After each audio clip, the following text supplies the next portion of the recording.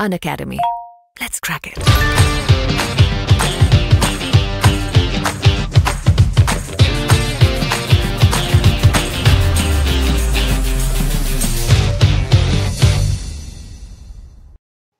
Good morning दोस्तों जय हिंद, जय भारत स्वागत है आप सबका आपके अपने परिवार स्टडी कर पर तो हम लाए हैं आज आपके लिए 17 नवंबर के करंट अफेयर से रिलेटेड टॉप 10 इंपॉर्टेंट क्वेश्चंस और उम्मीद करते हैं आपको यह सब पसंद आएगा। और अगर पसंद आए तो प्लीज़ वीडियो को लाइक करें, चैनल को सब्सक्राइब करें और बेल आइकॉन ज़रूर प्रेस कर लें जिससे हमारी लेटेस्ट नोटिफिकेशन आपको तुरंत मिलती जाए।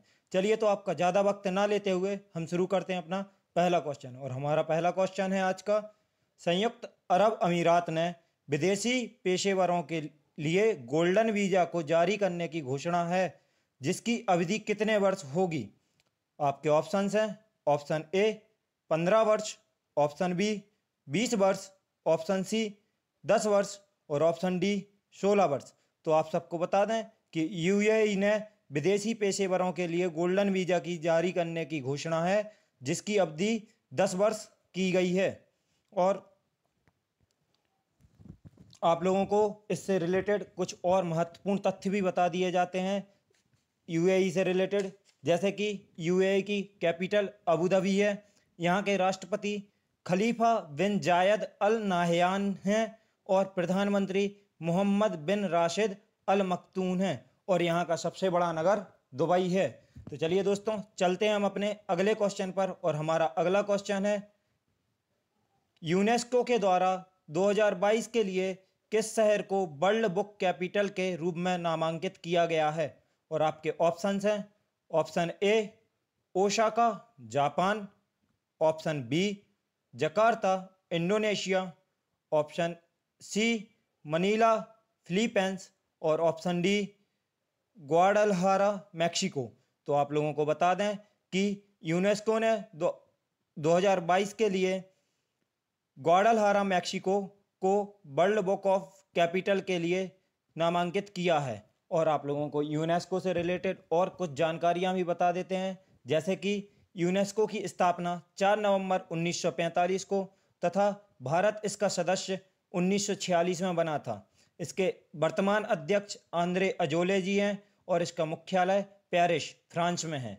अभी वर्तमान में यूनेस्को के सदस्य देशों की संख्या एक सौ तिरानवे है और वर्तमान में भारत के कुल 38 स्थल यूनेस्को की विश्व विरासत स्थल सूची में शामिल किए गए हैं। और आप लोगों को यह भी बता दें कि 2020 के लिए कैपिटल वर्ल्ड बुक कैपिटल के रूप में कुआलालंपुर मलेशिया को चुना गया है। चलिए दोस्तों तो चलते हैं हम अपने अगले क्वेश्चन पर और हमारा अगला क्वेश्चन है, हाल ही में किस देश के राष्ट्रपति जेरी रॉलिंग्स का तिहत्तर वर्ष की उम्र में निधन हो गया है? और आपके ऑप्शंस हैं option A Chile option B Ghana option C Bolivia और ऑप्शन डी साउथ अफ्रीका। तो आप लोगों को बता दें कि हाल ही में घाना के राष्ट्रपति जेरी रॉलिंग्स का तिहत्तर वर्ष की उम्र में निधन हो गया है। चलिए तो आप लोगों को घाना से संबंधित कुछ और जानकारी बता दें। जैसे कि घाना की कैपिटल अक्रा है और यहाँ के राष्ट्रपति जॉन अता मिल्स हैं और यहाँ के उपराष्ट्रपति जॉन द्रामानी महामा हैं और यहाँ के संसद के अध्यक्ष जोएस बॉम्फोर्ड अदो हैं और यहाँ के मुख्य न्यायाधीश जॉर्जिना थियोरोडा वुड हैं।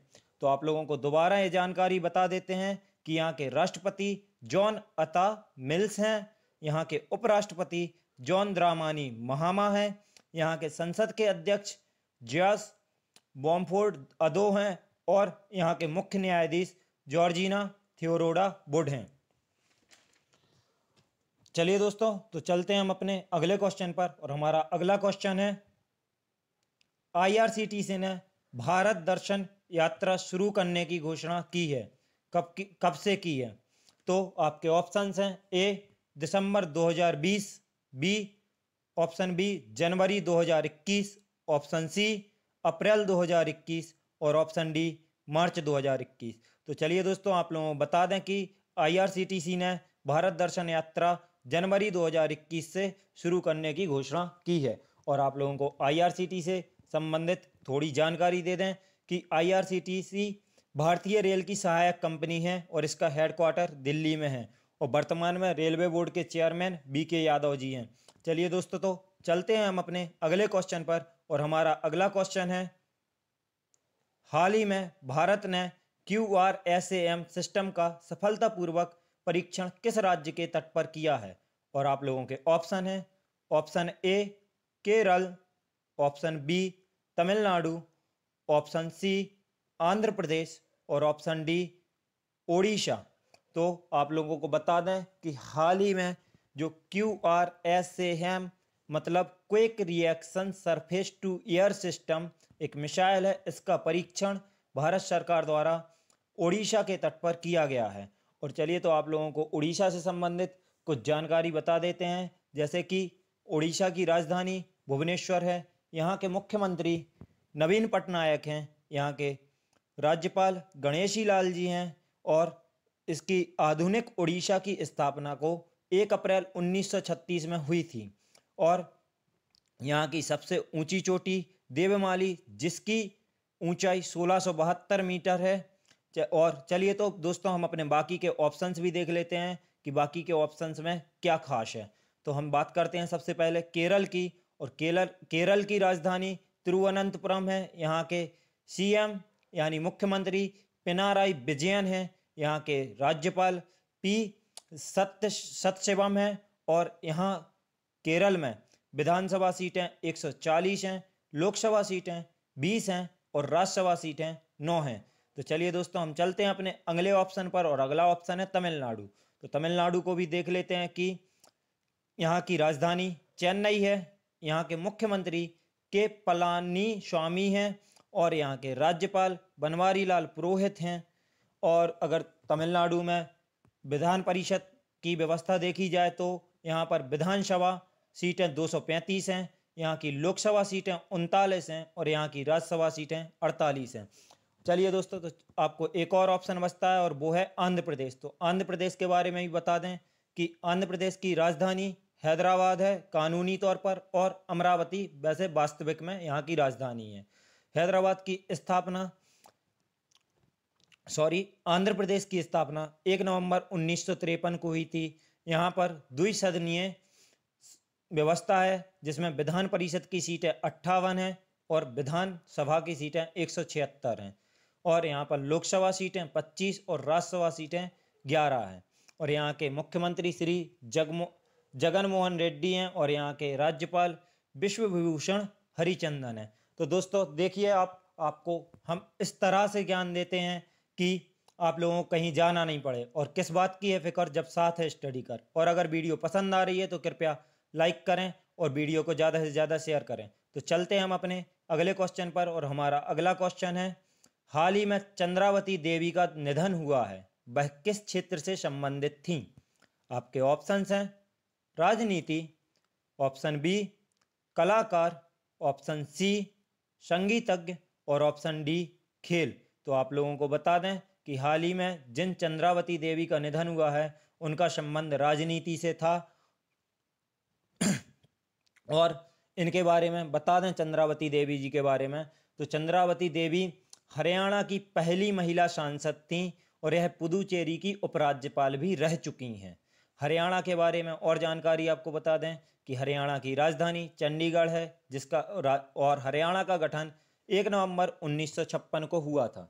यहाँ के मुख्यमंत्री श्री मनोहर लाल खट्टर जी हैं और यहाँ के राज्यपाल सत्यदेव नारायण आर्य हैं।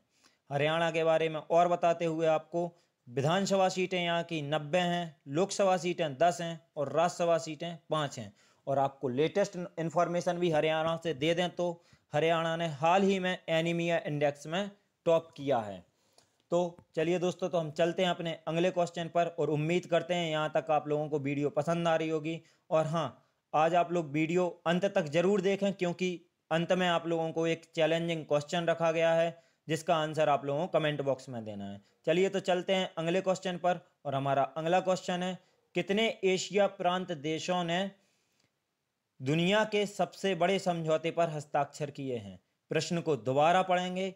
कितने एशिया प्रशांत देशों ने दुनिया के सबसे बड़े समझौते पर हस्ताक्षर किए हैं? और आपके ऑप्शंस हैं। ऑप्शन ए बारह। ऑप्शन बी पंद्रह। ऑप्शन सी अठारह। और ऑप्शन डी बीस।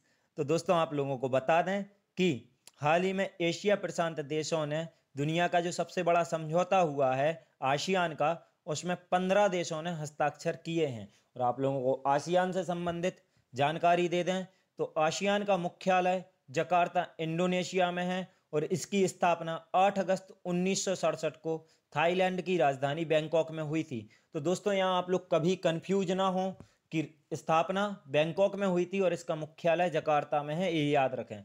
और आशियान के वर्तमान अध्यक्ष ली शुन लूंग हैं, और यहाँ के महासचिव लिम जैक होई हैं और आशियान के सेक्रेटरी जनरल हैं, वो थाईलैंड से हैं और उनका नाम है सूरिन पिट्सवान और इस, यह इसका सैंतीसवां शिखर सम्मेलन था, जिसमें पंद्रह देशों ने हस्ताक्षर किए हैं। तो चलिए दोस्तों, हम चलते हैं अपने अगले क्वेश्चन पर और हमारा अगला क्वेश्चन है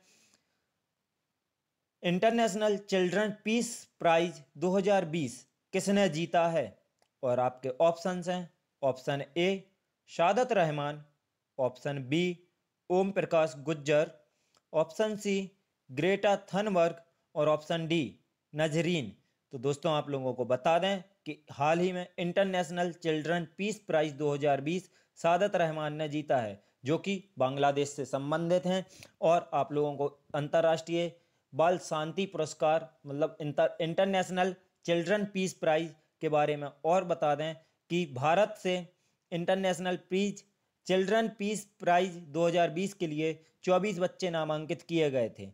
और ऑप्शंस के बारे में बता दें तो सादत रहमान 17 वर्षीय हैं, जो बांग्लादेश के निवासी हैं। दूसरा ऑप्शन आता है ओम प्रकाश गुज्जर।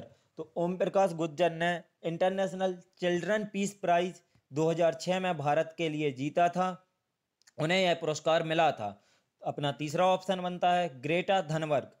तो ग्रेटा थनवर्ग स्वीडन की हैं और यह पिछले वर्ष ही इन्हें पुरस्कार दिया गया था। और आपका आखिरी ऑप्शन है नजरीन। तो नजरीन के बारे में बता दें कि यह पंद्रह साल की हैं, मुंबई के गोवांडी से ताल्लुक़ रखती हैं और इन्हें इस साल नामांकित किया गया था, लेकिन इन्हें यह पुरस्कार नहीं मिल पाया। चलिए तो दोस्तों, हम चलते हैं अपने अगले क्वेश्चन पर और हमारा अगला क्वेश्चन है, इनमें से किस राज्य में सरना संहिता पर एक प्रस्ताव पारित किया है? तो आप लोगों को बता दें कि इसके ऑप्शंस क्या हैं और ऑप्शंस हैं। Option A Kerala. Option B Gujarat. Option C Jharkhand. और ऑप्शन डी महाराष्ट्र। तो दोस्तों, आप लोगों को बता दें कि हाल ही में जिस राज्य ने शन्ना संहिता पर प्रस्ताव पारित किया है, वह राज्य है झारखंड। तो आप लोगों को इससे संबंधित और जानकारी दे दें कि इस प्रस्ताव के तहत 2021 में होने वाली जनगणना में झारखंड में सरना को एक अलग धर्म में के तौर पर शामिल करने का प्रयास किया गया है। और झारखंड के बारे में और जानकारी दे दें तो झारखंड की कैपिटल रांची है। यहाँ के मुख्यमंत्री हेमंत सोरेन जी हैं और राज्यपाल द्रौपदी मुर्मू जी हैं। यहाँ की विधानसभा सीटें 82 हैं, बयासी हैं, लोकसभा सीटें 14 और राज्यसभा सीटें 6 हैं। और झारखंड की स्थापना 15 नवंबर 2000 को हुई थी। तो अपना फिर से ऑप्शंस को देखते हैं, क्योंकि दोस्तों जब तक तोड़ेंगे नहीं, तब तक छोड़ेंगे नहीं। और अपना पहला ऑप्शन बनता है केरल। तो केरल से लगभग महत्वपूर्ण सारी जानकारी हम पहले ही आपको बता चुके हैं वीडियो में, लेकिन एक और बता देते हैं कि केरल का राज्योत्सव ओणम है। चलिए तो दोस्तों हम देखते हैं अपना अगला ऑप्शन और अगला ऑप्शन है गुजरात। तो गुजरात के बारे में बताते हैं कि गुजरात की राजधानी गांधीनगर है। यहाँ के मुख्यमंत्री विजय रूपाणी जी हैं और राज्यपाल आचार्य देवव्रत जी हैं। गुजरात में एक सदनीय व्यवस्था है और यहाँ पर विधानसभा सीटें एक सौ बयासी हैं, लोकसभा सीटें छब्बीस हैं और राज्यसभा सीटें ग्यारह हैं। गुजरात का राष्ट्र, राजकीय नृत्य, गरबा नृत्य है और गुजरात में एक महत्वपूर्ण राष्ट्रीय उद्यान, गिर राष्ट्रीय उद्यान भी स्थापित है। और भारत का सबसे बड़ा बाँध, सरदार सरोवर बाँध भी गुजरात में ही है और गुजरात के बारे में एक और महत्वपूर्ण जानकारी बता दें कि गुजरात राज्य की भारत के हिसाब से सबसे लंबी तटीय सीमा है। अब चलिए दोस्तों, देखते हैं हम अपना आखिरी ऑप्शन और हमारा आखिरी ऑप्शन है महाराष्ट्र। तो महाराष्ट्र के बारे में बता दें आपको कि महाराष्ट्र की कैपिटल यानी राजधानी मुंबई है और यहाँ के मुख्यमंत्री उद्धव ठाकरे जी हैं। यहाँ के उप मुख्यमंत्री अजीत पवार हैं और यहाँ के राज्यपाल भगत सिंह कोशियारी जी हैं। भगत सिंह कोशियारी जी वर्तमान में गोवा के राज्यपाल का भी अतिरिक्त पदभार संभाल रहे हैं। और आप लोगों को बता दें कि महाराष्ट्र में द्विसदन द्विसदनीय व्यवस्था है। तो यहाँ पर विधानसभा सीटें दो सौ अट्ठासी हैं और विधान परिषद सीटें अठहत्तर हैं। और यहाँ पर संसदीय निर्वाचन 48 सीटों पर होता है और महाराष्ट्र की स्थापना 1 मई 1960 को हुई थी। तो चलिए दोस्तों, हम चलते हैं आज के अगले क्वेश्चन पर और आपका अगला क्वेश्चन है, अंतर्राष्ट्रीय सहिष्णुता दिवस कब मनाते हैं? और आपके ऑप्शंस हैं ऑप्शन ए चौदह नवंबर ऑप्शन बी पंद्रह नवंबर ऑप्शन सी सोलह नवंबर और ऑप्शन डी सत्रह नवंबर।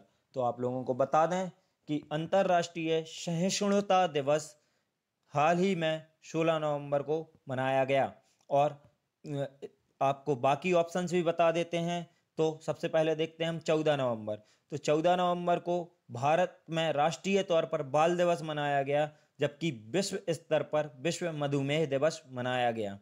दूसरा ऑप्शन 15 नवंबर। तो 15 नवंबर को कोई खास डेट नहीं है इंटरनेशनल बेस पे। तो तीसरा ऑप्शन 16 है। तो 16 को सहिष्णुता दिवस तो मनाया ही गया। साथ में राष्ट्रीय प्रेस दिवस भी मनाया गया। और हमारा आखिरी ऑप्शन बचता है 17 नवंबर। तो 17 नवंबर को राष्ट्रीय मिर्गी दिवस मनाया जाएगा।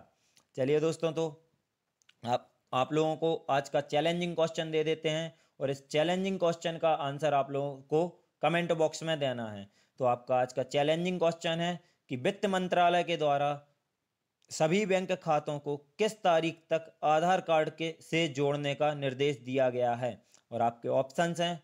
ऑप्शन ए एक जनवरी 2021 ऑप्शन बी, एक फरवरी 2021 ऑप्शन सी 31 मार्च 2021 और ऑप्शन डी, एक अप्रैल 2021 दोस्तों, इस प्रश्न को दोबारा पढ़ देते हैं और इसका आंसर आप लोगों को याद रखना है कि कमेंट बॉक्स में ज़रूर ही देना है।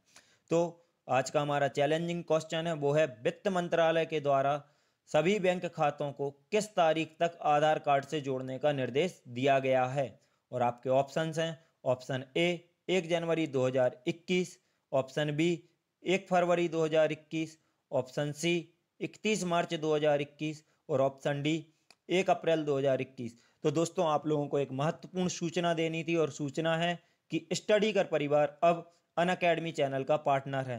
तो आप लोग अन अकेडमी पर जाएँ और आपको जहाँ अन अकेडमी पर मिलेंगे, free live classes, free demo classes, free live test और इस सब के साथ फ्री प्लस क्लासेस भी। प्लस क्लासेस में थोड़ा सा लाइव फ्री लाइव क्लासेस से एक्स्ट्रा मिलेगा और यहाँ पर आपको मिलेंगे वर्ल्ड बेस्ट ट्यूटर्स जो आपकी हर प्रॉब्लम्स और हर डाउट्स को क्लियर करेंगे। आप लोगों को बता दें कि अन अकेडमी पर अभी बहुत सारे पेड बैचेस भी चल रहे हैं, जो लगभग दो अक्टूबर से शुरू होकर अंत नवंबर तक उनकी स्टार्टिंग डेट है। और इनमें आपको विभिन्न परीक्षाओं से संबंधित, विभिन्न कोर्सेज करवाए जाएँगे। और आप अगर इनमें से कोई भी बैच ज्वाइन करना चाहते हैं और हमारा कूपन कोड यूज़ करते हैं तो आपको मिलेगा flat ten percent off discount तो आपका को, आपको कोड भी बता दें कि हमारा कोड है राजा नंबर वन और अगर हमारा कोड उपयोग करेंगे आप तो आपको मिलेगा दस प्रतिशत का डिस्काउंट चलिए दोस्तों तो हमारी वीडियो यहीं समाप्त होती है। धन्यवाद। जय हिंद जय भारत। वीडियो पसंद आई हो तो शेयर ज़रूर करें और अपने दोस्तों को